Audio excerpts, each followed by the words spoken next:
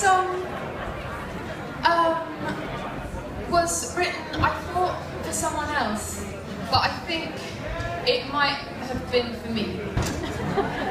if you know what I mean.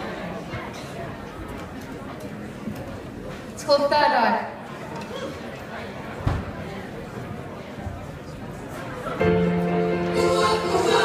That original